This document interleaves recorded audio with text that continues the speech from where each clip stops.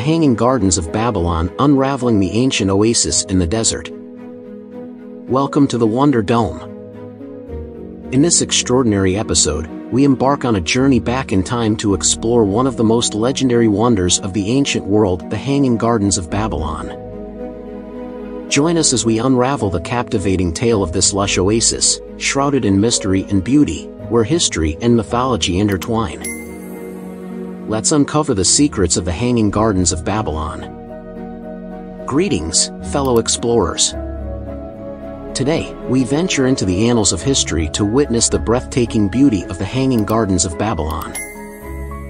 Let us unlock the marvels that once graced the ancient city of Babylon. The Hanging Gardens of Babylon were hailed as one of the seven wonders of the ancient world. Origin, believed to have been built around 600 BCE. These gardens, often attributed to the mighty Nebuchadnezzar II, were a testament to the grandeur of Babylonian engineering. Nestled within the desert landscape of Babylon, the Hanging Gardens were an enchanting oasis. Location, near present-day Hilla, Iraq.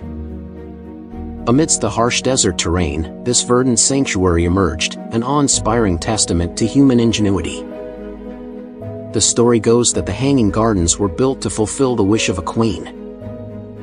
Queen Amy Amytis and her longing for green hills Queen Amy Amytis, longing for the lush hills of her homeland, inspired King Nebuchadnezzar to create this astonishing marvel. Despite its fame, the Hanging Gardens remain shrouded in mystery.